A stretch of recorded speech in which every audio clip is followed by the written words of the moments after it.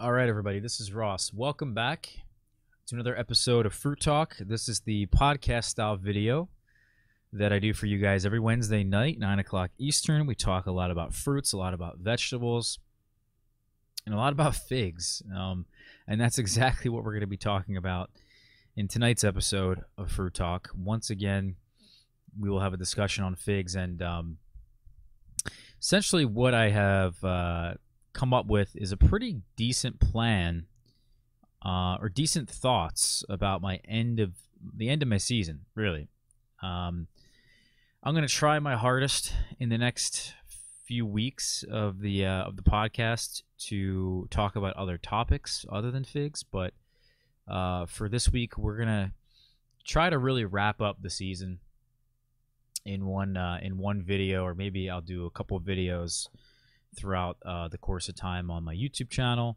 Um, but in terms of the podcast here, we'll kind of try to wrap this up the best I can.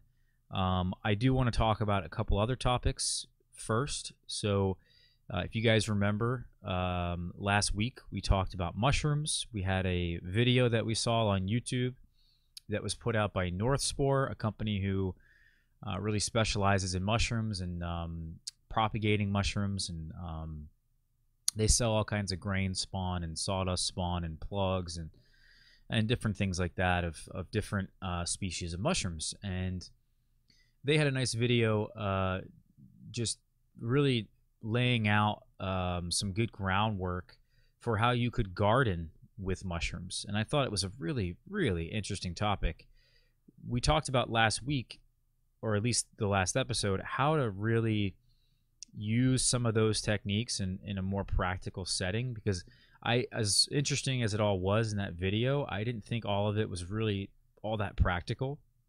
Um, I think a lot of it depends on where you live and what techniques of growing you are using, and there's just so much I think uh, to it that you just really can't say it's going to work for everybody. And I went ahead and I decided to actually purchase um, some of the some of the mushroom spawn um, from Northspore to try it to try it myself try different techniques. So there's two different techniques that we are going to go with that sort of came from that video.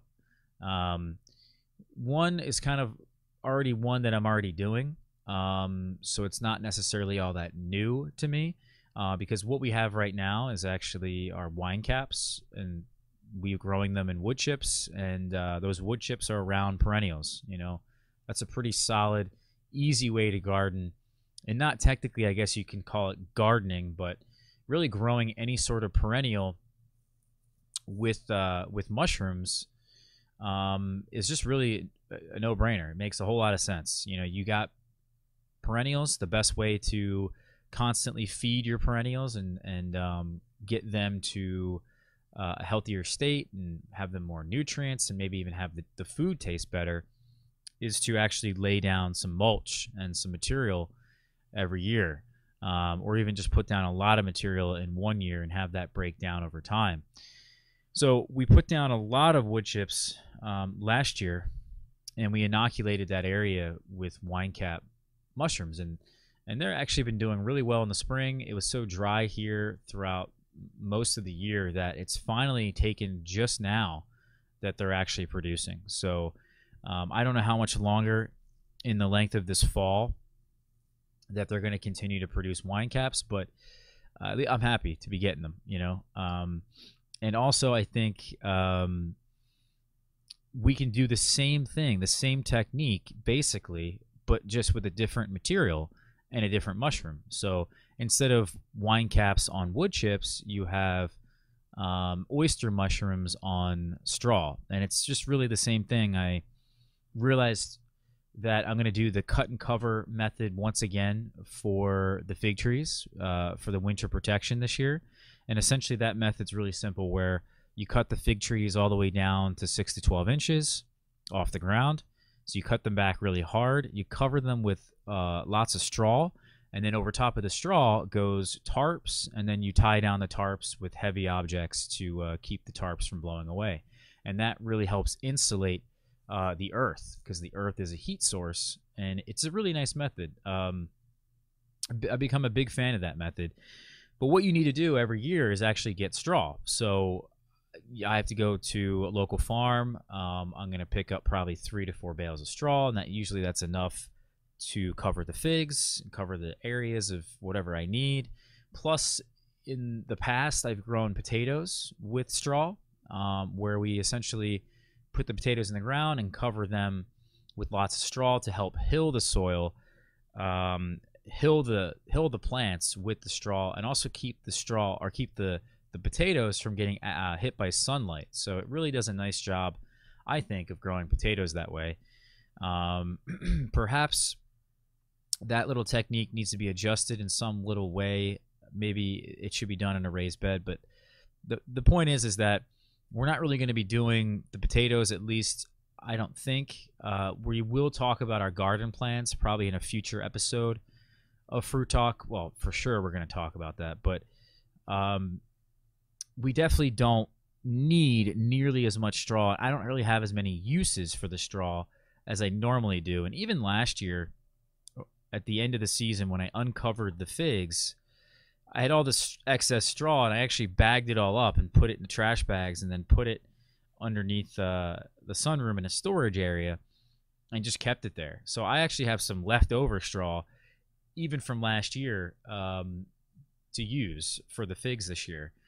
So with all this excess straw, I'm like, well, what am I going to do with it? You know, if I'm not growing the potatoes, I'm, I don't really have the greatest of use for it. Really, the only place that I can put it and, and make use of it is to put it underneath perennials, just like wood chips. Have that stuff break down. Straw is really great because it has a lot of silica in it, um, and that is really beneficial, I think, for the natural disease resistance and uh, and pest resistance, overall health of uh, of any perennial. Excuse me, guys. So we're gonna put that down just like we do the sh- the the wood chips, but why not just inoculate it, right? It doesn't make sense not to. So we're gonna do it again, just like that. The same way I would do my wine cap is inoculate that straw with different types of oyster mushrooms and I think I settled on the uh, the pink oyster here, and also the uh, I think it's the Italian oyster down here. Yes.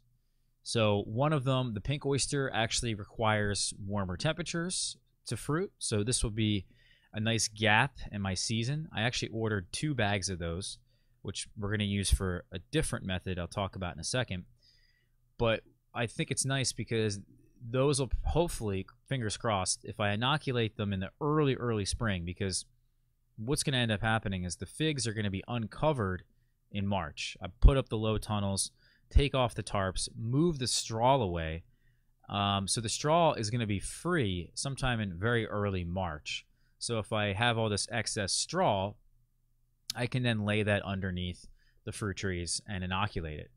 Um, so that's what we're going to do is is really inoculate that with two different types, as I mentioned. So the the pink oyster is again hopefully in the summer, and then the Italian oyster is kind of like in a similar time of the year as the wine caps, I imagine. Maybe the wine caps will continue to produce all year, uh, assuming it's wet. This year it just was very dry, and that's kind of why I'm just now getting some mushrooms after getting a, a crazy amount in the spring. Um, so maybe in a in a wet year, I might get some wine caps all year. I've heard that's actually a possibility and, and usually what would happen. But it would be nice, I think, to have a different type of mushroom in the summer, which is kind of where the pink oyster comes mm-hmm. in. And then the Italian oyster is going to just basically be, um, you know, in the spring and in the fall and, you know, whatever. So I think personally, it's probably a really, um, really good idea to have different types of mushrooms that hopefully can fill a larger gap of your of your season. Um, so yeah, that that's one that we're gonna do, and I was really quite interested to read and and learn that the pink oyster mushroom is just a mushroom that requires higher temperatures. You know, I didn't know that that was a thing or that this was going to be a possibility, I guess, at least in terms of growing something on straw or growing something on wood chips. You know, I always at least when I think of mushrooms, I think of growing them in the shade and and growing them in a colder, cooler area that really has a lot of moisture. Um, so the other way I'm going to use this mushroom is a totally different and new way of growing mushrooms that was also featured in that video by Northspore. And I don't really know how much success I'm going to have, which is essentially growing them in my one of my raised garden beds. And you essentially in the video they at least created the bed. They had the walls of the bed of logs inoculated with shiitake, which I thought was cool. But uh, in the actual bed, they filled it. They filled it in with soil, and then they inoculated the soil, all that organic material, with the oyster mushroom. And I think that's I think it's really really cool. I, I, I have to say if that if that can work, I, don't know if it's really gonna work. Um, it just seems like you got to have a bed that's really quite moist at all times um, because the pink oyster, like I said, it needs those warmer temperatures in the soil. I think I read somewhere it needs something like 60 to 80 degrees in the soil or something. Um, so if you don't have warmer soil temperatures, it just won't fruit. Um, which kind of is maybe a contradiction with the straw because if the straw is down on the ground, you would think it's going to cool down the soil and you probably wouldn't reach those temperatures at least very easily or for a very long time. I don't know. Um, I'm less worried about that method and more worried about just inoculating this in my soil that's bare and that dries out, you know, probably sometime in July and maybe parts of June and pr- parts of August as well. And that's supposed to be when it fruits, right? So it kind of just seems like a giant contradiction to me. Um, is that it's supposed to fruit in the summer, but in the summer it's quite dry. So ah, I don't know. I don't know, guys. I don't know if it's gonna work, but I'll tell you, it's interesting. I want to see if it is gonna work. Maybe uh, you know I'll have to water the beds every once in a while, or the particular bed I'm gonna have this mushroom in, and I guess I can make a judgment call at some point in the summer and say, all right, well, is it a dry summer? You know, are the mushrooms not spawning? And then make a judgment call from there, I guess. Um, but certainly, I have no doubt that the the straw beds will probably work. Um, and then this will just be something really cool that potentially I could do in the future, and maybe even inoculate a lot of my soil. You know, um, each year you're supposed to put down layers of compost, and I don't always get around to that, but it would be a really nifty, great way to make more use out of my space to grow more food. And um, I just think if you can kind of grow it all together, it just makes a whole lot of sense to me. And you know what? They also mentioned in the video, and it, it does make sense, is that that grain spawn is adding some nutrients. And the fact that the mushrooms are breaking down some of that organic material, you know, it really does help um, add fertility. You know, one of the things that is so special about the wine cap, uh, Paul Stamets has said in the past that it actually really improves the soil of wherever you have inoculated that particular mushroom. So it's kind of just really interesting and it'd be really cool i think to see how this all works together. I mean nature is just so amazing. Um, one of the other things here i want to talk to you guys about before we get into the figs is actually um, a little bit about food. We have recently gone um, gluten free and here's actually some pasta i made. Uh, we first started out with some vegetables. We had um, some shiitake mushrooms, some leeks, some uh, fennel stalk, some garlic, and we just sautéed this up with some olive oil in the in the uh, in the wok. And then I added in some cherry tomatoes. I had some black cherry, some sun gold in there. Plus, we had some homegrown and homemade pesto, half carrot top, half basil. Got the Parmesan cheese in there then we um, obviously mixed that all together and added in some chicken stock and also uh, some of the pasta water that was salted. And then we added in the pasta, mixed it all up together, and it just came out really, really good. Um, this was, though, some of the first pasta I had had in like, I don't know, over a week because I recently, as I said, have gone have gone gluten free, and I cannot really stress it enough. I think how amazing I feel um, having gone gluten free. And there's other things I've done. Like I mostly don't eat dairy now. Uh, the Parmesan cheese was kind of just in the pesto, and I had no choice. But um, I haven't eaten really any dairy for the most part in the last, I don't know, 12, 13 ish days. Haven't eaten any gluten. Um, trying not to eat really any corn products. Um, trying to eat a lot less processed oils.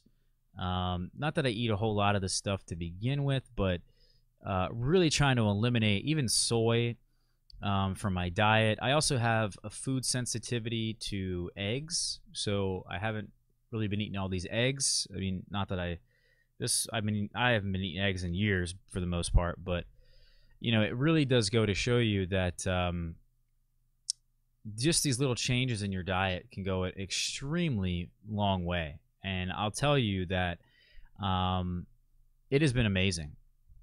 The particularly the gluten I feel, and I feel just a, I feel as good as I did probably in my early 20s when at that point you're basically indestructible. I mean, nothing can really bother your health for most of your uh, most of your younger years. Um, and then since I started, I guess, getting in more into food, I started branching out and eating worse, really. Uh, and I wasn't, you know, everything was more about the flavor and and how everything tastes, and less about uh, being healthy, I guess. But not that I wasn't being healthy, I think.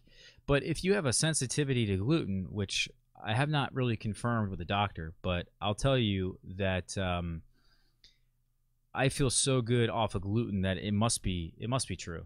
Um, I must have some sort of sensitivity, and I've read really well on this topic. Um, there there is a doctor, uh, a functional medicine doctor, which, by the way, um, functional medicine seems to be way more beneficial um, for a lot of us than your maybe your traditional doctor. Not that there isn't a place for traditional medicine. Um, because obviously that saves a ton of lives every year. But um, functional medicine really, if you don't know what that is, is really looking at the root cause of the problem. So if you have inflammation, well, what's the cause of the inflammation? You know, um, if you have uh, Alzheimer's, what was the cause of Alzheimer's? Rather than a traditional doctor giving you something because you had a heart attack or giving you something because you're developing dementia or something what is the root cause of this? Instead of putting a band aid on the problem every single year, we're going to look at why this is happening, why you have these symptoms, to then form a diagnosis to then actually cure um, the symptoms or cure the uh, the root cause of the problem. And to me, that makes so much sense. I don't know why anybody would think otherwise. I always thought that's how traditional doctors think. I thought that's what they were doing. Um, but I guess they're not. Uh, at least most of them. They diagnose your problem, and then basically from there, they just stop thinking. They put together a bunch of symptoms that you have, and then form a diagnosis, and then say, "Oh, you have blank," right?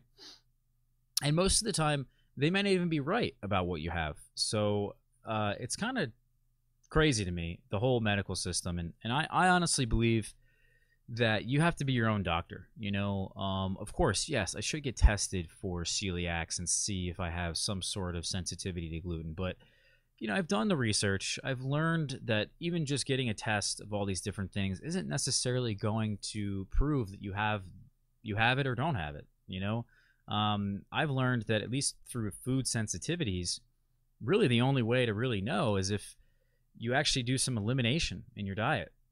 Um, it's really the best way to know.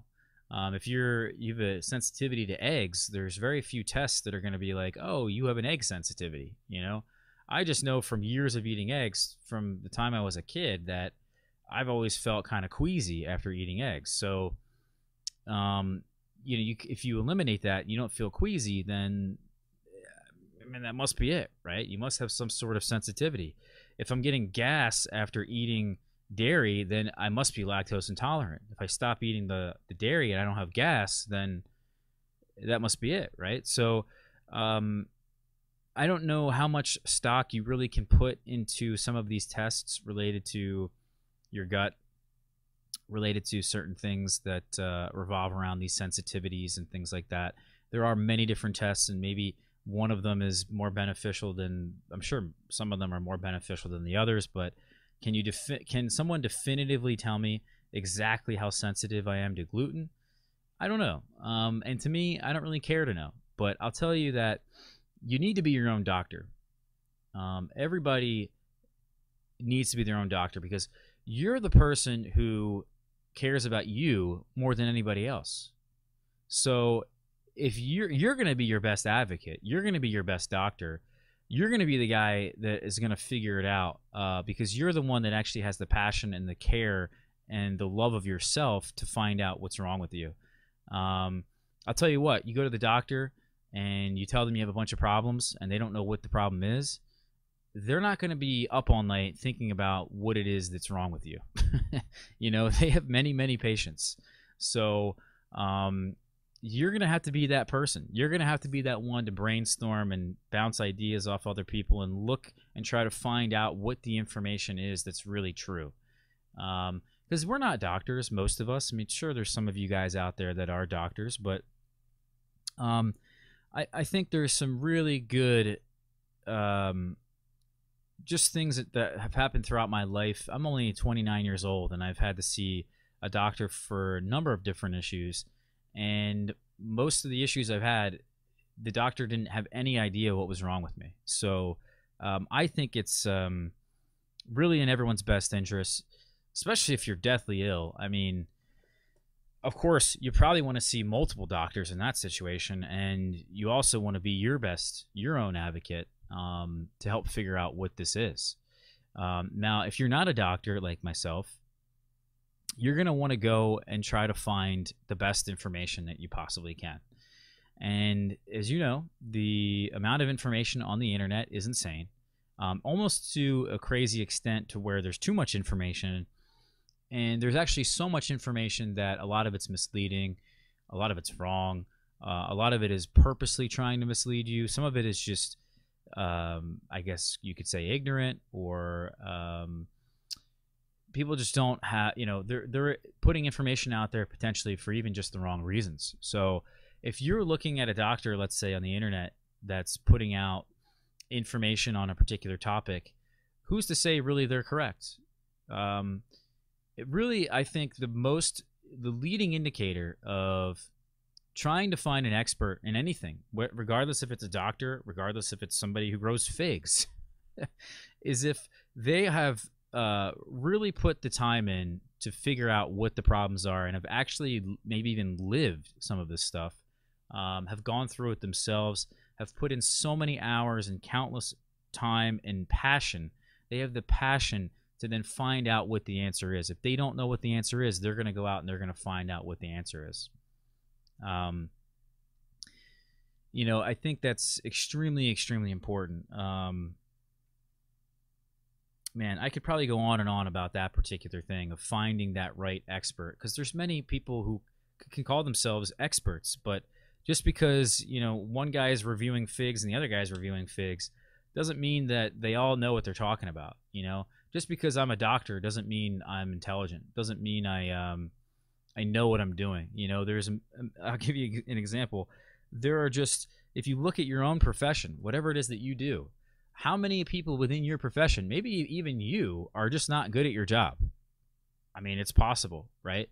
Uh, there's plenty of people who are not good at their job. There's plenty of people who are also good at their job, and there's probably just as many people who are about average at their job. So if you're looking at a doctor, let's say, and you're getting information from a doctor who is either average at their job or bad at their job, then you're just going to have the wrong information. You're going to be running around in circles thinking, oh, this person's a doctor. They went to school for eight, 20 years, and uh, they must have a high IQ because they went to school at Harvard or someplace. That's not always true. You know, it's just not. And um, it, it just is a, a it's a, literally a fact. I mean, I don't know what the statistic is, but there's a huge number of people in the world who are just not good at their jobs, no matter what it is. It doesn't matter if it's being a doctor or being a trash man. You know, um, it just is. It's just a proven thing. So, um, if you're going to be finding this information, you're going to be looking for information. You're going to be trusting your uh, your um, uh, you're going to be trusting somebody on the internet. You have to trust the right person. It's really that simple. Um, whether that's someone on the internet or it's your actual doctor, you got to know who it is that you're you're actually listening to, and and not only that, but of course, form your own opinion. You know, I don't, I don't think anybody is, is suggesting here blindly follow somebody because they are an expert. You know, um, I tell you guys that all the time. Just because I've been doing this for a long time, and I put a lot of hours into growing figs, that you know you shouldn't always just trust everything I have to say. You know, people can be wrong. Um, people are wrong. I am wrong plenty of times. So uh, the the point I'm here I'm trying to make here, guys, is that I do genuinely um, really do think that gluten is a serious issue for a lot of people. I've really put a lot of research into this and I've listened to a lot of different people and what they've had to say on this topic. And um, I can tell you without a doubt that I have felt so good without eat with just stopping eating gluten and um, it's it's affected many aspects of my life, not just um, digestion. You know, um, I feel like I have less inflammation. Um, I think it really it all starts in your gut, personally, and um, you know, if you essentially have a better microbiome, less gut problems, it then leads to a whole host of other different things that are then better. I mean, your mind, your body, my skin, um, my metabolism, um, my allergies eh, have cleared up uh, for the most part. Um, I'm happier. I have less anxiety. Um, you know, your mind is connected to your gut. So if you basically have an unhealthy gut, you're going to have an unhealthy mind. So it's really insane. It really is insane. Um, and I don't normally talk about this kind of stuff here on the podcast you know, we talk about fruit and vegetables, guys, um, but we don't normally talk about the health side of all of this, and uh, it just really is quite amazing what I've learned and uh, really have experienced for myself over the last. Um, really hasn't been that long, maybe two weeks. And it was almost like a night and day change from when I stopped eating gluten, stopped eating dairy. Um, I still eat corn here and there, but I'm trying not to. Um, it's just a, it really is an, an incredible difference. And I think if anybody out there is unhealthy and you've been struggling your whole life to become healthy, it's probably one of the best places to start is to stop eating dairy, stop eating gluten. Um, probably, you know, even limit the amount of meat that you eat. If you eat a ton of meat, um, I don't think really the carnivore diet, at least from what I've learned uh, through this research I've been doing, doesn't seem like that's a great idea either. Um, you know, I know there's people who probably feel a lot better on you know eating something like a carnivore diet. But why is that? Is that because of the gluten? Is that because you're no longer eating things that really were bothering you? Um, so I would try some sort of elimination diet. That's really my best advice, and I think anybody really anybody out there who is sick with anything, I think you could probably point to something in your stomach that um, is probably affecting it. But yeah, whatever. That's just some philosophy that I have no factual basis behind. But anyway, um, yeah, that's my recommendation. Is that if you you know, I think if you guys might not even think you have celiacs, maybe you have some sort of sensitivity to it and it might just be worth checking out. So let's move on now to the figs um, before I, you know, quit my job and try to become a doctor. But um, all right, so we we're the end of the season here. The end of our season is pretty much it's pretty much over now, and um, the figs really it's just too cold at this point. We've talked really been talking about this for like the last month is that things are really winding down, but I actually do genuinely think it's just over at this point. There's very little metabolic uh, the metabolisms of the trees are very very low at this point. Uh, ripening is taking an extremely long time. I don't have any trees in the greenhouse this year to extend the season. Um, largely, the season has been, I guess, in a nutshell, a, a learning experience. Um, mostly a disappointment due to trying different techniques, uh, trying different things that really just end, it didn't end up working out, and kind of reaffirmed my beliefs of what I was doing prior. And um, although in order to gain that knowledge i had to fail so i think i don't regret any of this i actually think this was a good learning experience this year but overall it was mostly a, disappointment. Um, a lot of the newer varieties that i had and, and um, have fruit on them i never even really got a chance to try and evaluate. And um, that was kind of a shame in terms of trying something new. Um, I did try some new varieties, don't get me wrong. We got a better handle on some of the varieties that certainly have, um, I guess, been um, in my collection for a long time. I'm trying to just adjust the volume here a little bit. I think we're a little bit too loud, but um, so yeah, it, it, the season, I guess, you know, in a nutshell, was not really a success, but we're better for it. It's I think really the point. Um, what we have here is kind of a, a, a, we're looking at the spreadsheet for anyone that's interested. It's in the description of any of my videos on YouTube. You can always go there and, and check this out.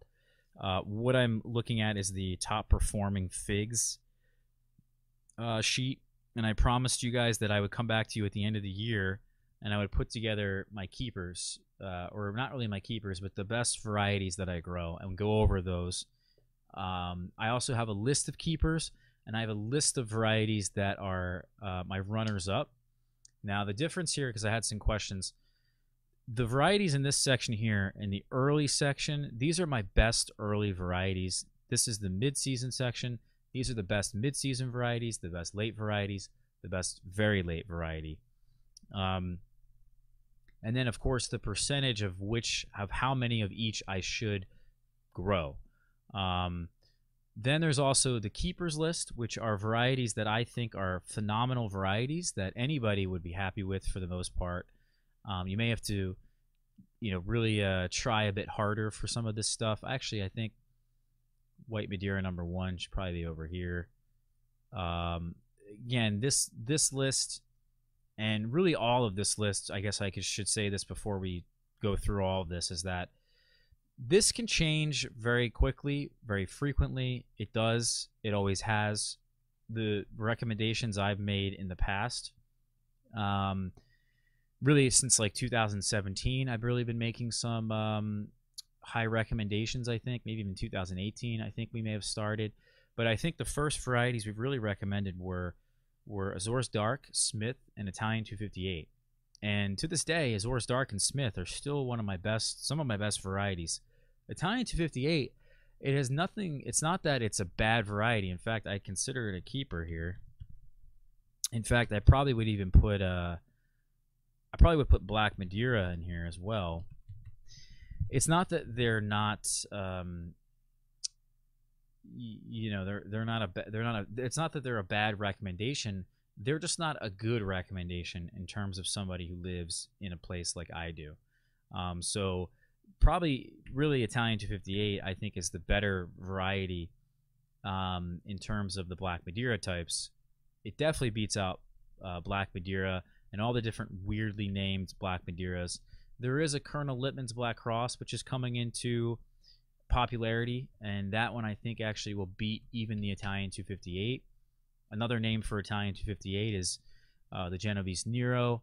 Um, so, you know, it's not like I don't like Italian 258. It's just not something that most people in a humid place should be growing, especially if you're in a shorter season climate. Um, I think I will add Black Madeira to this list because uh, a friend of mine um, growing in Louisiana, actually grows Black Madeira, and it's one of his favorite figs. And he really knows what he's doing, and um, he grows it in the ground. And as I've mentioned many times, we've really learned this year is that by growing them in the ground, they're less susceptible to splitting, which is kind of the biggest issue with Italian 258 and Black Madeira. And I even harvested some Italian 258 this year from my in-ground tree, and it also didn't split. So pretty uh, amazing, honestly, what can happen with these with these trees um, over time is that they just kind of get themselves more dug in, a bigger root system that's then less affected by uh, huge rain events. So really, really awesome. I think that was a nice little learning thing that we learned this year. Um, we also learned this year. I guess we could talk about some of the things we learned. Is that there needs to be an adequate amount of light penetration into the canopy uh, in order to have fruit set. If you do not have good light penetration, you have a very dense canopy, you just will not have fruit set. Um, they'll never set fruit. They just will not produce figs. It's not like they're they're gonna fall off. They were never there to begin with. Um, some other things we mentioned is that we do absolutely need to pinch here. Um, without a doubt, is an extremely, extremely beneficial technique. Um, wanted to see exactly how beneficial it was, and I still have calculated um, about a 19 day difference between pinching and not pinching. Um, let's see, what else did we learn this year?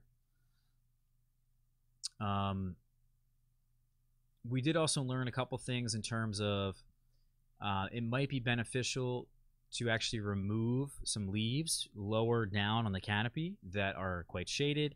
Uh, also, quite you know, shading out some of the fruits. The fruits themselves, if they do not receive enough sunlight down below, it is also possible for them to drop fruit as well. So uh, I think it's a good idea as the tree gets taller and taller is really start removing some of those lower leaves. As the figs ripen, um, you probably want to remove the leaves, anything below the next fig that has ripened. So, um, not that I think we should be really removing tons of leaves, it's just some of the very, very lower leaves that could be shading out a large portion of the canopy. And that's really only for the in ground trees. I wouldn't remove any of the leaves in a potted tree. That's definitely a mistake. Um, what else did we learn? Um, those I think were really the big one there. We learned about, I guess, some spacing potential issues that could be a problem. Uh, we learned the benefits really of Japanese espalier, for, the form of a Japanese espalier or a cordon system for figs, uh, and how that sort of relates to the light penetration. Again, going into that canopy. Um, we learned really solidified, I guess, the soil moisture thoughts that we had, especially comparing the in-ground trees to the potted trees, to regulating every ounce of water that goes into the, the containers that we have. Um, well, there's probably a lot more that I'm not thinking of right now, but I think those are the big ones. Uh, oh, we did also learn about the shape, which we talked about, I think, a couple weeks ago on our, our fruit talk where the shape really does largely determine the overall rain resistance, not rain resistance, split resistance of uh, particular varieties. Um, so if they have a more flatter shape or rounder shape, they're going to split more frequently than something that's shaped like an oval or something that's shaped like a teardrop, like you would um, kind of see something like a celeste. Excuse me, guys, a celeste is more of that teardrop classic teardrop shape. So any of these really, really flat figs, for the most part, you're not going to see them in this category here. Um, any of the round figs, you're not really going to see them in this category here. These almost every single one of these is a pyriform shape, like a teardrop, or is an ovoidal shape that's shaped like an oval. Um, there's one exception, which is actually the Bourjassotte Grise. And um, we did do a little bit of experimenting this year. Let's go into the varieties now. Uh, we did some experimenting with looking further into Violette Sepor, Bourjassotte Grise, Socorro Black, and I'm pretty darn confident that they're all basically the same. I have a feeling the Bourjassotte Grise is probably going to be the best of the bunch. So therefore, I'm the I'm, that's the one that I'm going to go with, and that's the one I'm going to propagate the most of, um, just going forward. Now, this is the only fig that I would consider having a your your Urceolato shape, and uh, I don't know exactly how to pronounce this, but here's a nice little photo. Your Urceolato. This is the the uh, shape. Um, this is the the system of fig shapes that I think Estelrich has come up with, and he I think is one of the major uh, fig growers from Spain back in the day, and he has he has written some some books and things on figs as well. And um, in addition to Pons, I should say, but this was taken right out of Pons's book, which is the, this particular system of naming them, and even there's a even further than that of classifying them as a different shape. There's a certain way to do it. Um, which I thought was pretty interesting. That I had no idea how you do that, but um, rather than just looking at the shape, you can actually measure it and really figure it out for yourself um, based on actually measuring it. I think you take you cut the fig in half minus the stem or something, and that's what you're left with. But um, I do also think the stem length has a lot to do with it. If the, the stem is longer, uh, you may have a, let's say, a your Urceolato shape that's not ideal. This is quite flat, quite round. If you have this shape, but you have a long stem, it may actually work out. And that's sort of what I've been noticing with the Aspherica, which is uh, more of a round shape, really uh, spherical. That the Campaniere, as an example, is quite round as well, but it has a, such a long stem that actually it sort of avoids splitting for the most part. Where Ronde Bordeaux, which I've downgraded to a keeper, is also round. I mean, that's what that's what rond means in French is round. Um, Bordeaux is the location, but it's a round fig, but it has a short stem, and therefore it splits quite often. Um, Pastelliere, which is a fig that I think has a lot of potential, also is quite round, but it is known to be a splitter, but it does have a longer stem. So maybe if I can, if it can consistently have a longer stem, or I can find a, a strain of Pastelliere with the longer stem, even though it has that round shape, I might be better off. You know, something that makes Celeste such an amazing, amazing fig is that it has a long stem and it has that pyriform shape that we look for to avoid splitting. It really has that teardrop like shape. Now, the ovoidal shape here, the classic one that I think about is actually Moro de Caneva. And it's ovoidal just means oval. Um, here's actually some Campaniere that kind of even has more of like a pyriform shape. But here's one right here that's, again, a spherical. And then if I go down to Moro de Caneva, you can really get an idea. Here's actually one right here. Very long stem, also oval-like shape. Um, give you a better idea here. Here's some right here. These are as oval as it gets for the most part. Um, extremely oval-like shaped fruits. And that's exactly why uh, I really am valuing the Ponte Tresa as well, because Ponte Tresa is also an oval-like shape, and um, I'm considering even putting the Ponte Tresa in the ground because it's going to have that higher rain resistance and split resistance that you need in most of your figs. I don't remember which of these is the Ponte Tresa. It might be this fig here. I don't remember here. Oh, it might be this one. I haven't named I haven't named some of these unfortunately. I have to go back and add some names to some of these guys.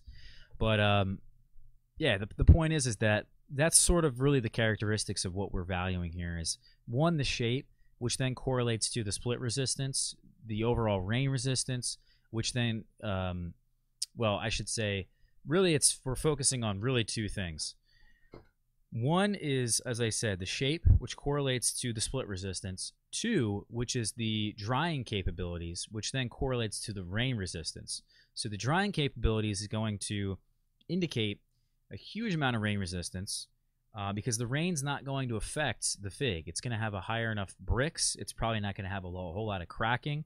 It's also probably not going to split all that much. Um, and therefore, it's going to be able to withstand the humid weather here to produce a really high quality fruit. So, all of this the split resistance, the the shape, um, the uh, the drying capabilities, all of this then correlates really well to the flavor uh, to then form and have a consistently higher fruit quality. So then the last thing you kind of look at is well, when does the fig ripen and how does it actually taste? When the fig is actually ripe, how does the fig taste?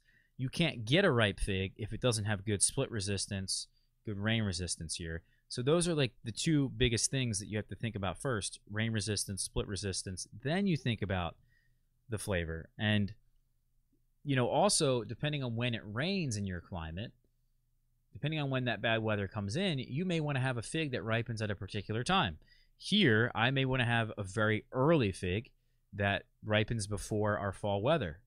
Um, in Florida, you may want to have a very, very late fig that ripens after hurricane season. So it sort of depends on where you guys live, and that's really some big, important information that I've learned and I wish I knew since day one. Um, that's really, in a nutshell, what I've learned about growing figs in a humid climate. So these are the figs here that are the best of the best. Again, this could change, but we haven't shied away from our Azores Dark, our Malta Black. They're hardy Chicago types. We've talked at huge length about them. They're very, very tasty. They taste quite different as well. Um, it's worth having both, in my opinion. Now, Celeste, we actually just did a little, we did a little um, blog post actually on our blog about Celeste, and there's so many different types of Celeste that maybe it's on the second page here. Wow, it's been that long. Yeah, the many strains of Celeste. It's called figboss.com for anyone that's interested. But we have in this top section here. I actually originally thought there was different types of strains of Celeste. One was your typical Celeste. Others are blue Celeste. Blue Celeste and Celeste, I think, is just pretty much the same thing. It's just that, just like the hardy Chicago types, there's different variations, mutations, adaptations, different genetics at this point that have made these figs change in certain ways. And some of them actually have blue skin, like you see here. This one is uh, Violette de Marseille. And one of these strains of Celeste, I don't know which one it is, but it's going to become king it's going to emerge as the better Celeste strain, and that is going to be the one that is certainly going to be in this particular list here. That is among the best fig varieties I grow. We've talked a lot about Celeste, and you could pretty much just guarantee across the board on all these varieties, just assume that it has extremely good rain resistance, split resistance, and again, has also really good flavor. So um, I think that could be really without saying, and I'm kind of just going to go over these varieties rather quickly. Campaniere is just again the same thing. I think it ripens extremely early, as early as Ronde Bordeaux, and it's very very flavorful. I love the texture of that fig. Um, we just did a video on this. We just did a post on this um, on uh, our figs. We are probably going to post about it at some point on our blog. Moro de Caneva, again, extremely, extremely good fig. Um, can't really say enough about it. It has a huge, the longest stemmed fig of any fig I've ever seen. Campaniere has a long stem as well. Um, it's got the perfect shape. Um, it tastes fantastic. It can dry decently. Um, Campaniere has good drying capabilities as well. Azores Dark. Celeste has great drying capabilities. Malta Black has great drying capabilities. Almost every single one of these figs in this category has good drying capabilities other than maybe LSU Purple.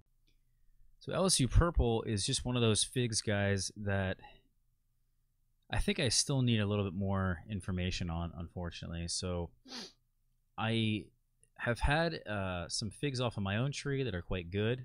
Um, I definitely enjoy the variety.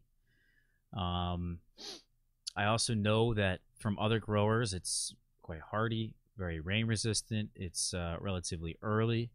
Um, my only little grief about it is that the flavor may not be up to par as much as I think. And if that's the case, then eh, I think I'd rather just have Zafiro as an example. Um, so I think there's room for LSU Purple to fall off a cliff. but I did have um, some LSU Purple off of a friend's tree that's actually uh, five miles down the road. And he has a tree in, in the ground that survives every year. And it's uh, it's pretty big. It's actually very productive. And believe it or not, it has um, very highly tasting fruits on it. The fruits um, taste great, but the fruits tasted very different in a way than um, than my own tree. So, um, and I didn't necessarily like his fruits as much as I liked mine, because at least mine had some sort of uh, you know a, a different feel to it, um, whereas his kind of reminded me just of like your standard fig. It wasn't anything special about the flavor.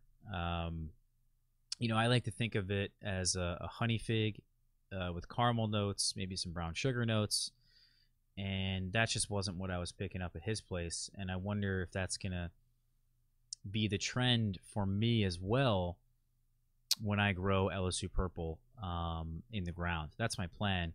Is actually to plant um, probably get some cuttings this winter time because I just don't have any cuttings off my tree for the most part.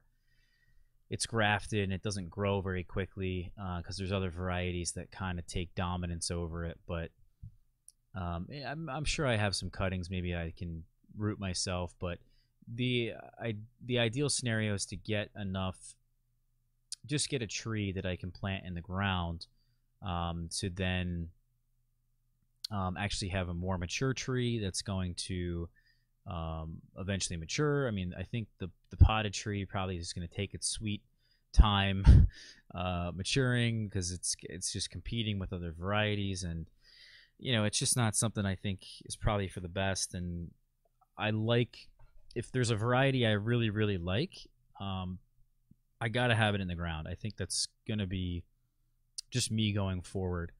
Um, there are some varieties that I've learned this year that it really should just stay in a pot, and they perform way better in a pot. And um, those are the varieties that I'm going to be either grafting this year um, or trying to make copies of, just exclusively for growing them in a pot, which are Smith, Hative de Argenteuil, and Nicaea Black, UC Davis. So we'll get to those in a minute. Um, but LSU Purple, I think, without a doubt, is at least, at the very least, it's a keeper. But I don't know exactly. And maybe I should downgrade it. Eh, probably because I want to keep this list so pure. You know, I want to keep these recommendations so pure. I mean, these are basically as good as it gets. So if I'm not totally sure about something, then I'm probably going to downgrade it for now. And I can always add it back if, for whatever reason, any of these keepers here, I change my mind on them and they start to impress me, then I can always upgrade them back. Like a fig that I am quite hopeful for is Blanche de Deux Saisons. You know, um, in fact, I, I would even probably venture to guess and say that LSU Purple belongs in this category as a runner up. So does probably the Blanche de Deux Saisons. I haven't really put a whole lot of time into you know these two lists just yet, but um, this is basically you know very easily you could just make an argument that anybody having any of the figs in the keeper list, you'd be like, oh, you're ha- re- you should be really happy to have these. Um, runners up, and maybe even White Triana should be over here. I don't know why I have it in that list. But the runners up are the figs that I basically have said, oh, well, these are so good that, or these have the highest potential to basically break into this list here. You know, um, these are the guys that I think, again, have that potential to eventually break into this this category. Um, more so than the others. You know, the keepers, for the most part, we know almost everything there is to know about them. Um, I do think Strawberry Verte has a chance as well. Um, I guess Sultane has a pretty good shot because we still don't know a whole lot about it. Um,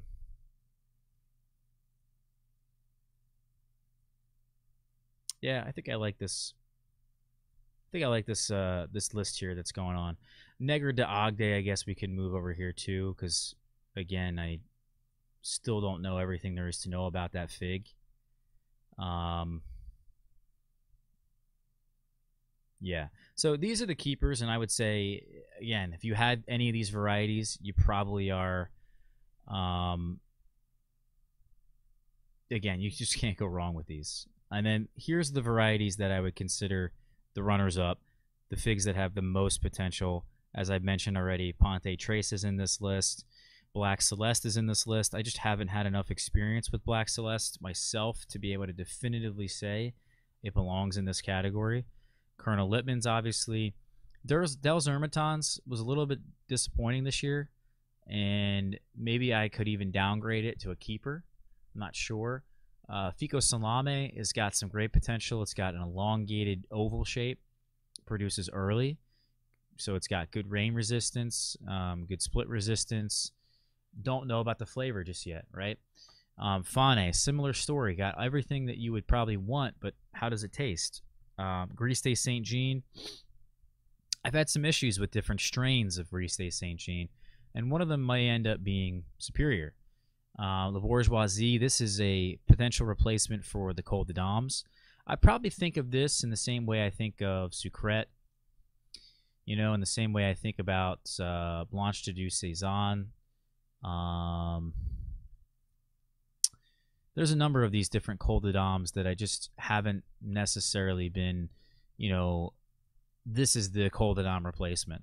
Uh, because really the true Col de Dame replacement that beats all of them so far is De La Roca. Um, to finish off this runners up list real quick, you got LSU Scott's Yellow, which is similar to LSU Hollier, but could potentially be better. I don't know. And some of these LSU figs like Tiger, Hollier, and Champagne, they are without a doubt keepers. I've seen some splitting this year, some large cracking this year, which really turned me off of them. And they were let's say, in this particular list over here, but uh, they've sort of disappointed me. And LSU Hollier really disappointed me more than um, than the others because that was one that really filled in a particular flavor category that now I just don't have filled with any of these figs that I would consider in this top tier. Um, Albo's similar, has a larger eye, ripens extremely early, um, because of that large eye and the the round shape that it has, it just is not ideal. I think for more humid places. Um, Sucrette, I think, is not the most complex fig. It has really good drying capabilities, which is a huge plus. But it does split every once in a while, and I don't know why that is. Um, seems a little bit more sensitive to moisture. Bode has certainly written in his book that he agrees. So why would I disagree with Bode? Um, yeah, there's just some downsides to this that I think maybe these other guys have a slight edge on Sucrette. And again, I'd be super excited and happy to have it. Same thing with Violet de Bordeaux. I mean, to then have Violet de Bordeaux not in this list is just crazy. Um, Ronde Bordeaux, Paradiso Ciro, one of the best figs I grow in terms of flavor. Just has that larger eye, uh, not an ideal shape to it. Um, Negretta reminds me a lot of a Ronde Bordeaux that doesn't split, but the flavor is not as good. It's not as complex. Um, LDA, Longue d'Aout, perfect, perfect fig.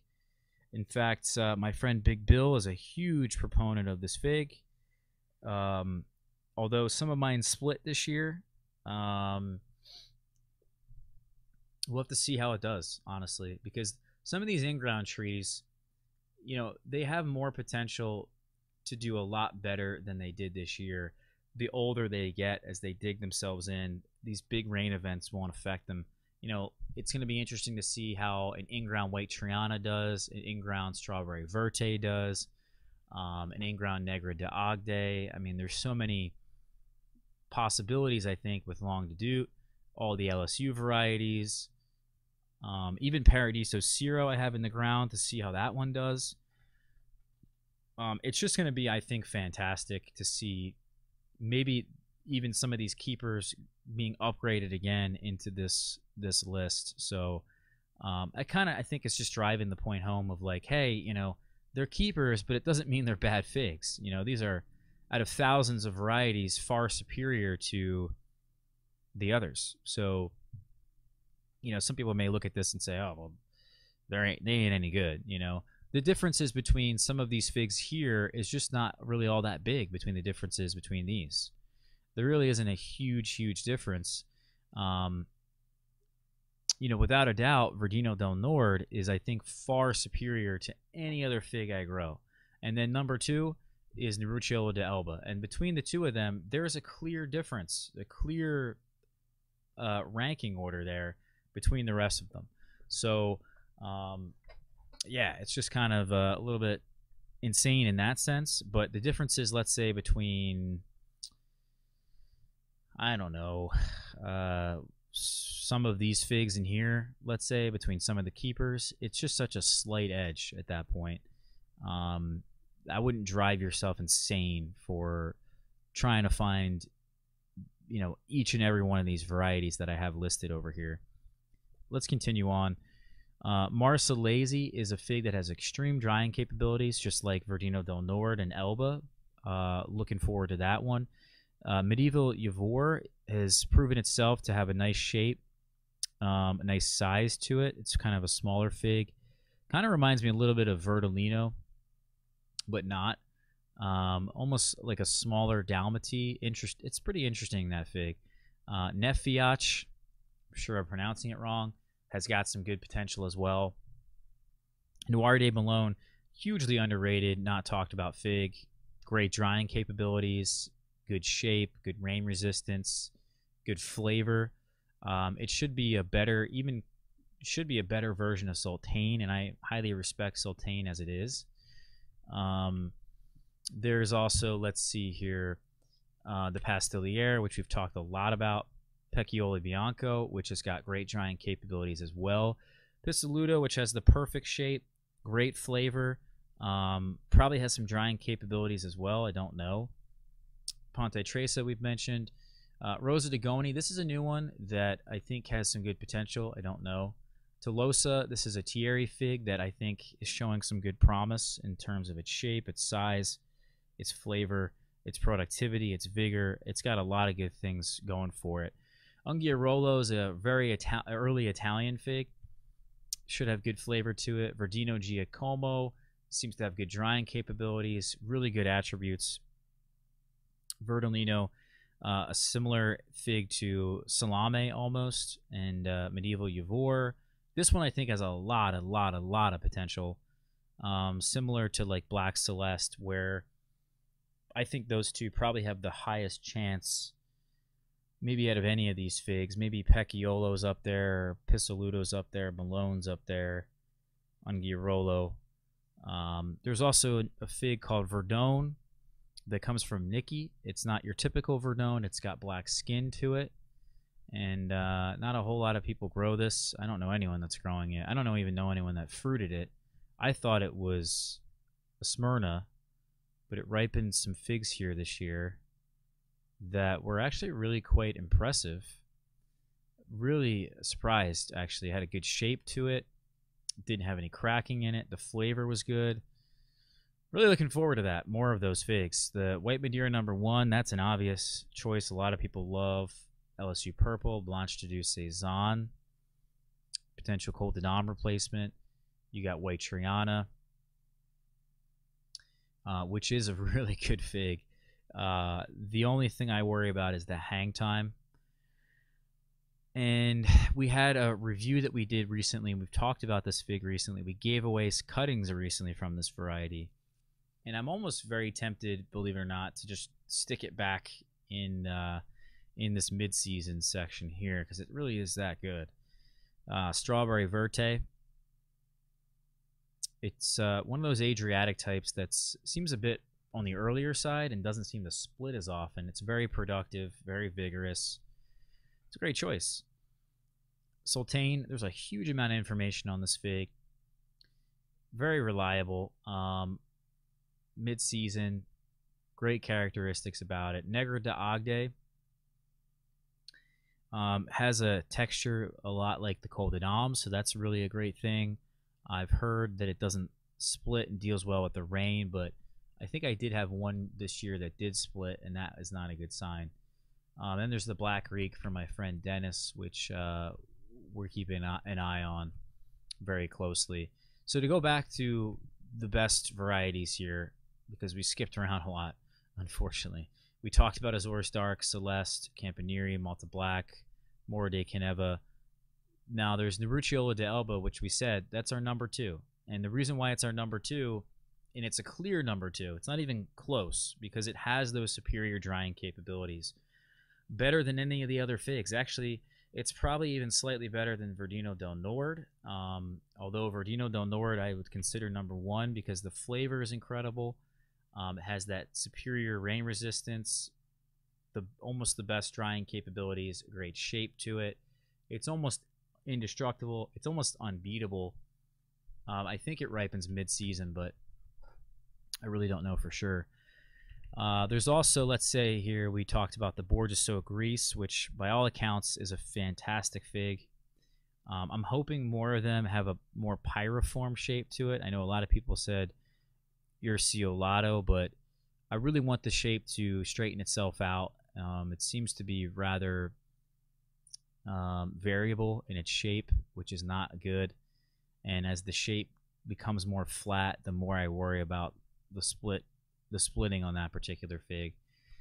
Um, we also have the Ischia Black UC Davis, which we've actually yet to try, but by all accounts, it's extremely, extremely good.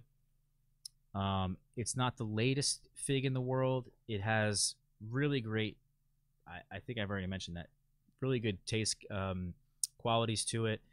It doesn't probably have nearly as much problems with rain and other issues that you might consider. Um, really looking forward to that. And I've grafted a number of trees. Finally, we have some established Ischia black trees to uh, to propagate from and to hopefully have fruit off of next year. The uh, Rosolino is kind of like I almost think of it as an upgraded Hardy Chicago. So it's almost like an upgraded Azores Dark and upgraded Malta Black. Um, it has better drying capabilities than the Mall, and that's typically what it's used for in Tuscany, where it's widely grown. And you have to think, well, if it's got the better drying capabilities, then it's going to be in the same class as something like Verdino del Nord and Nerucciola d'Elba I don't think to that extent that the drying capabilities are, but it's up there. Um, you know, Campaniere has got some great drying capabilities to it um, as well, and you know the drying capabilities I think really puts it ahead of the other figs.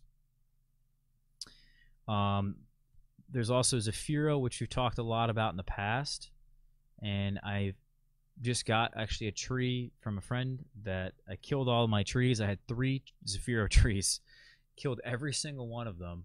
It seems to be just a very difficult variety to deal with at first. Um, I did have my grafted Zafiro on a pretty established rootstock that ended up dying. The rootstock died, and therefore the actual variety itself died, and it was just, it was very sad to see. And um, yeah, I don't know. I'm glad to have it back. Honestly, it's probably the most complex honey fig I've ever had. Um, fantastic rain resistance, split resistance, productive, vigorous. It's got it all. Um, and there's two figs here I really want to mention before we go on to the next category, because some of the best tasting figs I have um, are these two here, and it's hard to really beat them. I think it's really difficult in terms of flavor and if it wasn't for the flavor i probably wouldn't be growing them because these varieties i really i really think they need to be grown in pots. Um, they just you know it's not like Hative de Argenteuil shouldn't be grown in or shouldn't be grown in the ground. I just think that Hative de Argenteuil is very difficult to establish, like Ischia Black, UC Davis, and therefore should be grafted until you can get a really healthy cutting, propagate that healthy cutting, and then you can plant it in the ground. which actually is what the deal is now with my Hative de Argenteuil, and maybe will be what the deal is with my Ischia Black in the future. The alternative is you can plant one of those two varieties, Ischia Black, Hative de Argenteuil, in the ground and keep rejuvenation pruning it every year. Eventually, it will become healthy, and you'll be happy, and you could have them in the ground. In fact, I do have an Ischia Black in the ground. I my plan is to get a Hative in the ground. I do have a Smith in the ground, but I just genuinely think between the th- the three of them, Ischia Black mostly should be grafted, Hative should be grafted, and Smith just doesn't seem to be doing well in this particular system I have it in. It really needs uh, the widest canopy that you can give it. Um, it doesn't necessarily like to, to have a dense canopy, and if it is dense, it just won't fruit. So it's really, really important to get sort of Smith established um, before it really can become very productive. And as I say, they're very, very good fruits. Uh, Hative reminds me a lot of Smith, but it's more cherry-like, more acidic. Smith has some acidity to it, but it's like a more complex version of Azores Dark. Um, maybe a more complex version of even Campaniere. More complex than, let's say, Bourjassotte Grise, potentially. Um, it's really got the flavor going for it. And I would say if I had to rate them all on flavor, I would say the top fig I grow in terms of flavor is actually De La Roca. Um, it is the best tasting fig, and then um, you know you probably I'd have to put the Col de in there, but below that is probably something called De La Senora Hivernenka, um, and then I would put probably Smith and Hative right behind it, with Verdino del Nord right behind that as well. Um, so, you know, those are probably the best tasting figs I have. Not only are they as good, are they super, super good, but they also have really ridiculous characteristics to them. Um, you know, the the both of them just do incredibly well in rain. Um, in these humid conditions, it's very difficult to beat Hative de Argenteuil and Smith um, they don't have the highest drying cap. They don't really have much drying capabilities at all, as I've been able to at least figure out. Uh, you know, maybe they do, and I just haven't let them ripen that long. But you know, they're they're sort of in a class in, of their own in terms of rain resistance. I think you know Celeste is probably right up there with it. Um, it's just hard to really beat them for rain resistance. Um, in their own little way, I think, uh, if that makes any sense. But yeah, De La Roca, moving on to the late varieties, it is the best tasting fig I have. It, it's basically a Col de Dame that has drying capabilities. So it doesn't split, has the good shape, doesn't crack. It's a more intensely flavored Col de Dame with the perfect texture that you're looking for. It's amazing. Um, probably the biggest recommendation, I think, behind Verdino del Nord and Neruccio de Elba. That one's probably number three. Um, just because it tastes so phenomenal and it also has all those characteristics. You know, Black Madeira tastes amazing, and I think everybody should try that fig. But there's just so many issues with it. It's so late. It splits. It just you, you grow. I, I basically have a Black Madeira in a pot to maybe get one to five good tasting fruits all year, you know. And De La Roca, although it is a late fig, probably just as late, maybe a little bit earlier than the Black Madeira, at least it's not going to split. You know, at least you're going to be able to eat it. You're not going to get SWD damage. It's just far, far, far superior with the same awesome flavor. I mean, it's not the same, but it's still that same awesome eating experience that you want in a extremely tasty variety. You know, that's sort of what people rave about Black Madeira for, um, is for that flavor. And then De La Senora Hivernenka, this is the latest variety that I would recommend. Um, you know, I probably would put Black Madeira in this very late category. Um, if you're getting any later than De La Senora Hivernenka, I think you're kind of making a mistake. Um, so let me just show you on Pons' website. He's got some varieties here. He's got all of them. that you can look at. Here's uh, De La Roca we're going to look at. And there's also Hyvernenka, which you can see the exact dates of when these things ripen in Majorca. And, you know, De La Roca is September 7th, which is basically around the same time as the Col de Dames. So it's not much earlier. De La Senora Hyvernenka is very, very late. And it's 20 the 22nd of September. So this you could make an argument is right along the same time as you know Black Madeira as an example, and for that reason, it's difficult to deal with, and um, that's why I only have five percent of my collection is going to be very late varieties like De La Senora Hyvernenka. But with all of the season extension that I have here, uh, I think it's worth it. It has the shortest hang time of any fig I have. It's like a three or four day. Really, ideally, it's like five or six. But you could pick it at day three or four and still have a high quality fruit, which is insane. And that even goes all the way into the fall for most of the fall. So even if it's cold, it's still actually really quite tasty. It's really ins- insane, actually, that fig. It's got high rain resistance, high split resistance. One downside is that it does crack, and the cracks are huge. So um, you get really bad fall weather. You may have it actually split open on the side, and that could not be good. But um, for all intensive purposes, it's the best fig I've ever seen that ripens late and will put up with the really bad fall weather here in this climate.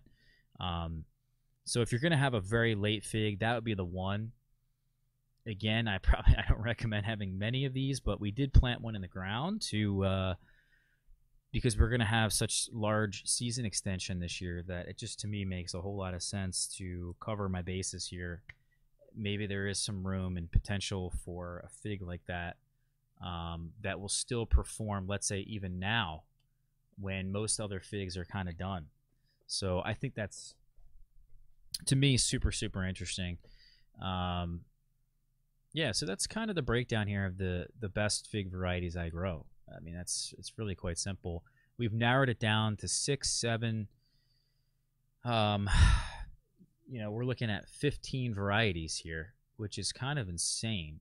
Um, that we went from hundreds. I've grown literally hundreds of varieties, and we've narrowed it down to 15 really solid choices.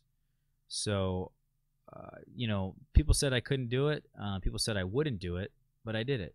Um, and now at this point, it's really just getting rid of some varieties, uh, as we do every single year. I probably get rid of maybe close to a third of my varieties every single season.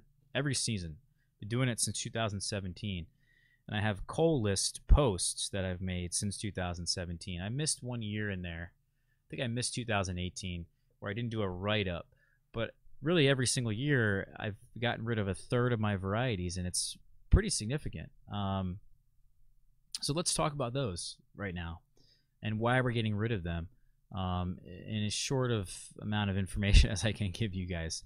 Uh, we will do a write up probably at some point on these and post that this information here on the blog of all of these different sort of this information that we just put out um,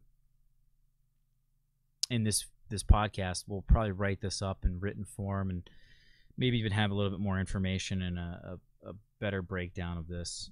Um, so if we go here to our other sheet, we can see what, what I have to do in my yard and things that I'm planning to do.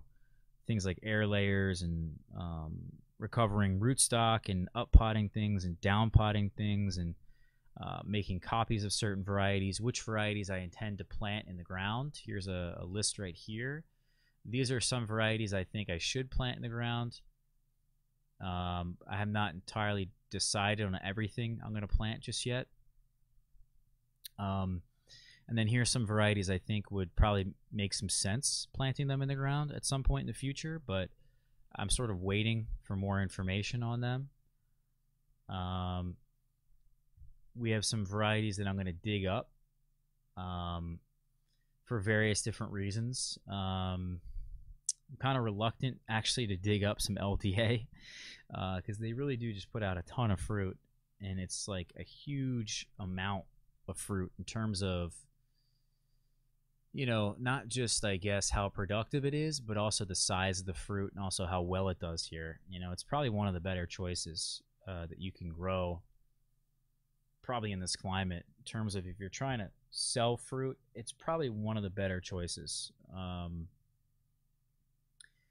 you can maybe make an argument for like yellow long neck or golden rainbow, but I haven't necessarily been, you know, getting as much information on those just yet as I need to make a better informed decision yet on those. But LDA probably is just a spot on choice, and I don't know honestly if I should really rip those out. Uh, white Madeira, we're gonna plant a white Madeira in its place, so it's like you know, not really ripping this one out. Um, I'd rather have it in the ground than not. Um, some of these varieties we just don't know enough about, like Vasilika Black. I just I don't know any, much about them, and I think I'd rather have other varieties in the ground in its place, and I'll grow Vasilika Black in, let's say, a pot instead.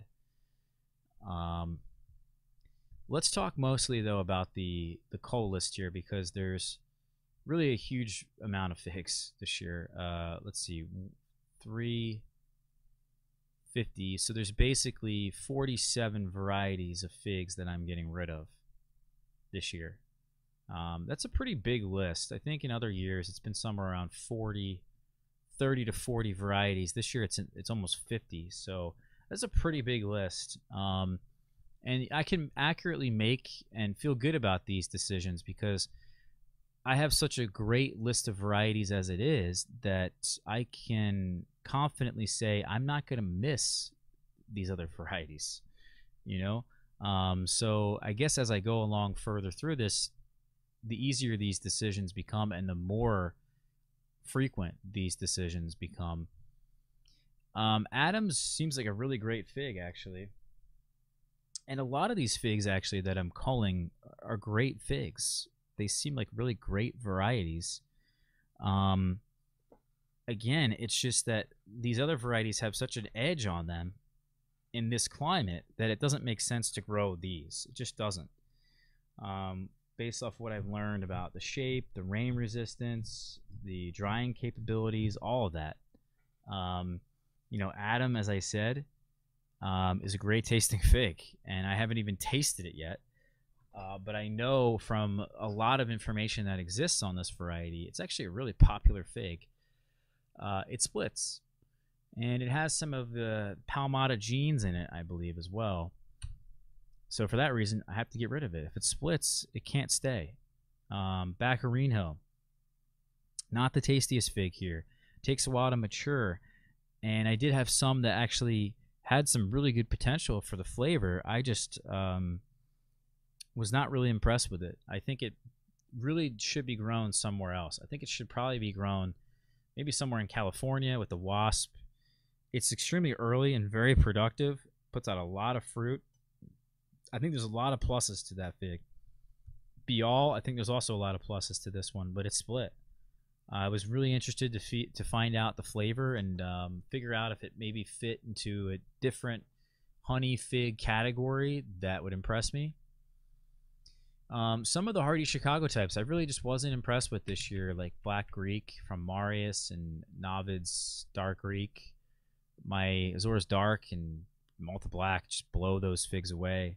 And I'm sure maybe if I gave them more time, I probably would see more potential in them. But for now, um, I really just was not impressed with them, and I thought I would be. I thought I should have been more impressed than I was. So I'm kind of seeing that as a good sign, a bad sign, and I'm kind of getting rid of it.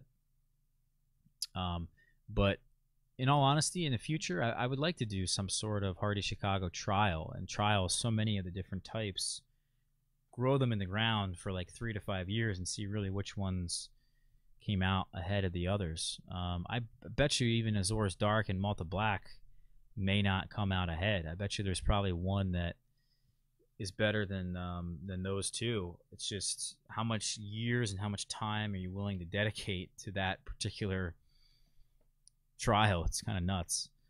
Um, Black Madeira UC Davis is just very late. And again, it's like that fig. I get one to five figs off of the, in every year that are good, and the rest of them split, or I don't even get to eat them. So I don't see much point in it. Um, I do have a Black Madeira KK in the ground, and I will keep that for probably a very long time. Um, Black Province.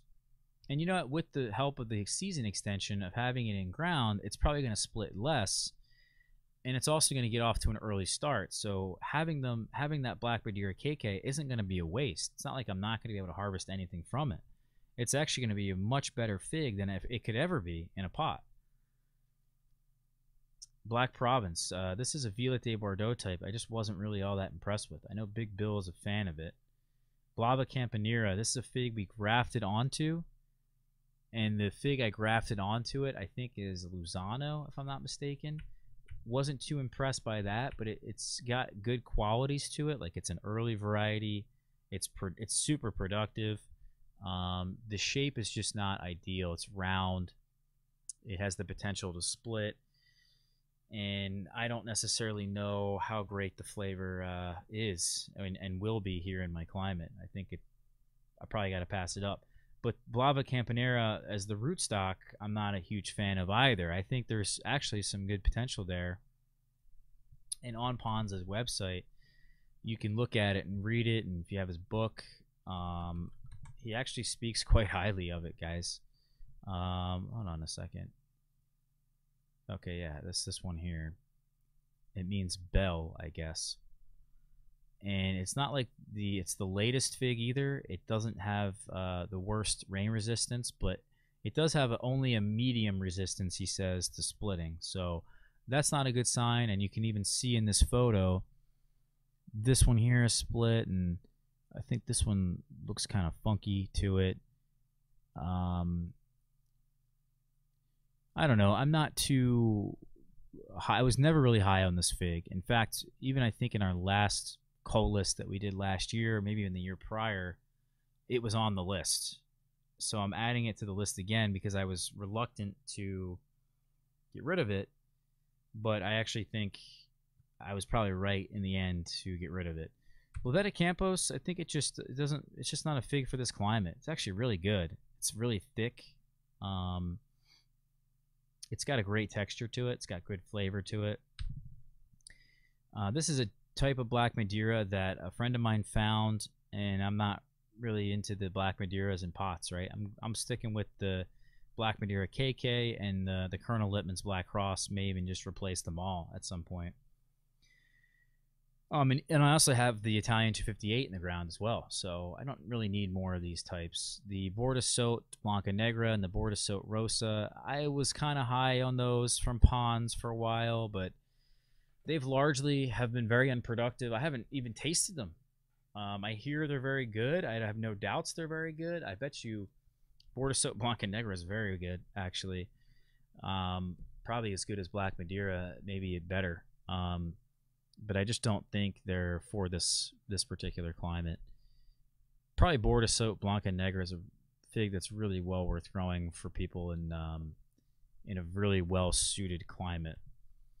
Brockton Greeks, another hardy Chicago type, just was not impressed by it. Uh, Capole Kurt Negra. It's a very good fig, guys. Perfect texture. Um, it's got great flavor to it. It just splits. It's got the wrong shape. Brogiotto Masseria. This thing hasn't ripened any figs. I like the fig though. I wish it was common, but I don't know. I think it might be a Smyrna Col de Nom Blanca Negra. It's got a flat shape to it. Odd that it could be considered a Col de Dom. Good flavor, good texture. I just that shape. It just doesn't going to work here. Cotillon Verdal, I don't think has produced anything for me. I'm also just like whatever, you know. It, I'm sure it tastes great. I just can't really see the potential of it really doing well here, knowing what I know now. I just don't think that fig probably is really worth growing. The Trace's Place, it does split as well, and um, it's a good tasting fig. It's very, very early. I consider it probably in the same category as Ronde Bordeaux, but I think I'd rather just have Ronde Bordeaux. And even then, Ronde Bordeaux is you know, is just a keeper. I think they trace Trace's Place as a keeper, by the way. Early Violet. Uh, early Violet, whatever early Violet I have, it's not early. it ain't early. I don't know what that fig is, and I'm probably not going to sell it because I don't know what it is. And it doesn't seem to me to be worth it. Um, yeah, Ubon. This fig is also, it seems like it's mislabeled. Uh, Ubon should be a Pastelier type, and this is actually a Dotado. Figujan, very early fig, just like the Trace's Place, but it it is flat and it splits very easily. Galicia Negra splits, great tasting fig. I love that fig. Getting rid of my Italian 258 in the pot, in a pot, and actually this shouldn't even be here because I'm not technically culling it. I still have the one in the ground that we're keeping. The Iraqi Palmata hybrid. Um, this one I think would make great rootstock. Um, it grows well. Um, the fruit seems to need to hang for a long time, and I just don't like that. To really develop the full flavor, it needs time to mature. It just has too many requirements, I think.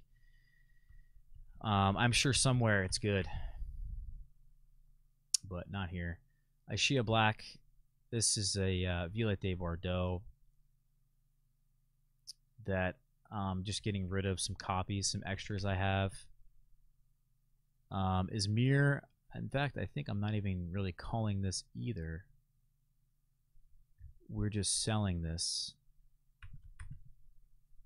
Um, because I am keeping one of them. I think in in a pot keeping my potted. Yeah. Izmir and Izmir not. Just not impressed with them. Uh, Izmir not. People say it's like Col Dent Blanc. It ain't. It's not even close. Izmir drops every fig. Jade. Uh, this is a beautiful, beautiful fig, but I think it belongs in a climate that has the wasp. Uh, it just doesn't do all that well here, I think, without pollination. I think that's a huge unfortunately, a requirement because I really would like to grow that fig. And I just not been impressed with it. Little Ruby, it's just so small, and I think we even had this on our coal list last year, and I never dug it up. Luzano, we talked about Morus nigra. The Morus nigra mulberry, although it's not a fig, it's in a pot, and to be honest with you, it's not worth it. It's just not worth growing a mulberry in a pot um, especially a Morus nigra. Although it's very tasty, um, just not very impressed with it. And it belongs in a climate that it can actually grow in. Uh, Moscatel Preto, very flat figs this year, which is quite different than other people I've seen. Uh, because it's so flat, it's split a lot. The flavor is good, but splits. Yellow Niches, um, very, very early fig. Not a huge fan of the flavor, and I wish it would mature finally. I think it's got the Palmata gene in it, and those Palmata figs just take their time, man, to really mature. It's kind of annoying. Um, Osborne Prolific, a similar story to Bial. It's just I was hoping for an interesting flavor. I like the fig. I've I've even tasted the fig. It's a fa fantastic tasting fig, very figgy. Um, it just doesn't produce well here. Um, it needs a less dense canopy. Um, I don't remember really what the story is with this fig, actually. I don't remember what's wrong with it. In fact, I'm not even totally sure if I even ripened some of them. Um, I may not have, but I'm getting tired. If it didn't ripen figs, I'm getting tired of that. Sanguinato, I'm pretty sure is a Smyrna. Um, Simon number one from my friend Simon. Just keeps dropping figs. I'm getting tired of that. Sweet Joy is not a very productive fig, although very, very good. Texas BA1 is a similar to Smith, but not Smith, and um, it just doesn't produce, and it's in the ground. And why have a different strain of Smith? I guess it doesn't produce. I don't know. Uh, Preto de Torres Novas. People love this fig for some reason, but it's super early. It's super early, but it's very um, it splits a lot. And that splitting really, the SWD loved this fig this year. It reminds me a lot of Turamo in that sense. And I'm just not a big fan of Turamo or Brandon Street or Nebo or any of these early round shaped figs that just split all the time. Uh, there's Victoria. This is a black mission type I've learned, similar to Galicia Negra. It's got great flavor to it. It just um, is late. It splits. Um, finally was productive for me. I don't know. Just not a big fan of it. GM 172. Um, the flavor I couldn't get behind. People have said it's good. I just can't get behind it. Um, not a big fan of this fruit. Uh, Planera splits, known splitter. Finally got to taste it. Just decided to move on. Rosa di Trigani, I don't even know. I had I didn't think I ripened anything from this. I just don't think this one's gonna be doing well here. I think it's a type of um, brown turkey. Um, Martinenca, this is the non-Ramada version. And just looking at Pons' notes on it, I'm not really all that impressed. Also, the figs I did ripen, they're tasty. It's a highly flavored fig, but uh, again, just because it's highly flavored doesn't mean I should grow it. Um, Fico Love, this fig tends to drop a lot when it's young. Um, I finally did ripen one, and you know I always knew it was true to type, but it just I don't know. I'm not. I don't know anyone really that's so keen on it, and it didn't produce a whole lot of figs. Doesn't like a dense canopy. Tends to drop. I hear it needs a long hang time, so I don't know. I think I'm kind of making a mistake with that one. Perfectly honest with you, Black Beauty 10, never impressed. I'm sure it's really not all that great. Um, makes a great rootstock. I don't know. I don't want to just say it's it's horrible, but definitely planting it in the ground, I think, and letting it mature is probably the way to go. And it may need a few years before I can really accurately say, really, if it's good or bad. Aborta Barraquera, I'm still really on the fence about. It's blue, it's beautiful. I'm sure it's tasty. It's late though, and it's got good rain resistance and split resistance. I've heard, but I'm sure it's not the best. And uh, probably not the best fig to be growing here in this climate. So that's kind of here, guys, what we've just uncovered in this short season that we had, and and um, really the best I could do. I think um, it's good. I think to really talk about the ones you're getting rid of because then it really makes sense when it income when it comes to what it is actually you're keeping and why you're keeping it because it's not just enough to talk about the good ones. You got to talk about the bad ones because you can't have any good ones unless you had bad ones. You know, you don't even know what's good unless you had bad. So um, it's just, yeah, I think we're making some pretty good decisions, some good progress towards really narrowing this whole thing down, and um, I'm excited for the future, especially for some of these varieties here.